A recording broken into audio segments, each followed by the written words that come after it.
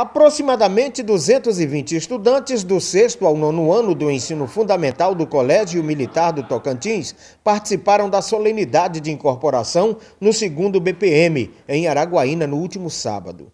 Essa escola militar é uma coisa muito boa que o governo fez, porque muitas crianças hoje vivem na rua, né, usa tudo quanto é coisa ruim, não presta, e aqui já é um exemplo de que dá para eles, para eles seguir uma vida boa né, não dar trabalho para os pais e ter a obediência, sabe? A solenidade de incorporação dos estudantes ao Colégio Militar José Humberto Camargo contou com a presença do Coronel Silva Neto, comandante-geral da Polícia Militar do Tocantins, além de autoridades civis, militares e familiares dos estudantes. É o futuro do nosso Brasil, então a gente vem prestigiar aqui. Eu faço questão de prestigiar principalmente todos os alunos que estão incorporando os colégios militares do Estado do Tocantins. Né? A gente serve como um, um, uma inspiração para eles e eles nos transmitem cada vez mais aquela motivação para a gente vir é, é, investir na educação juntamente com a Secretaria da Educação. É um momento muito solene para o aluno do Colégio Militar, né, o ato de incorporação.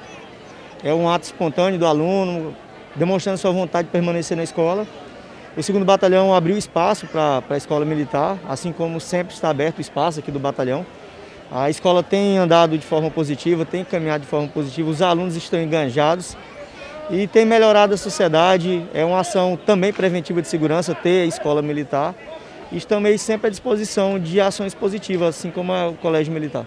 O batalhão escolar foi apresentado pelo aluno Arthur Pérez da Silva ao secretário de governo Lázaro Botelho, que na ocasião representou o governador Vanderlei Barbosa. Na sequência, os estudantes pronunciaram o tradicional juramento que marca o compromisso do discente em se dedicar aos estudos, o respeito à comunidade escolar e aos valores, além dos princípios da instituição de ensino. O Colégio Militar do Estado do Tocantins, Jorge Humberto Camargo, mais uma vez, ele realizando uma incorporação, exaltando na vida desses alunos a grandeza que é eles serem bons cidadãos, serem pessoas que sejam honestas na sua arte de educação, no processo ensino e aprendizagem, que eles sejam bons filhos, que sejam cidadãos do futuro. A aluna recebeu os símbolos no ato que marca o término do período de adaptação,